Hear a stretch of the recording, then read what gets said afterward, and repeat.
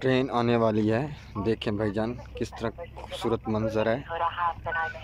ये नोतक स्टेशन की ट्रैफ़िक फाटक का मंज़र है। देखिए कितनी खूबसूरत अब ट्रेन आने वाली है थाल एक्सप्रेस।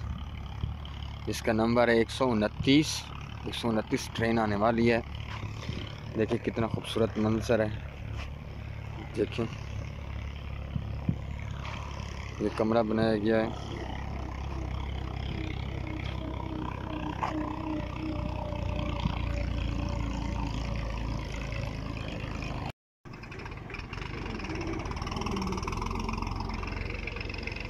देखिए ट्रैक्टर साथ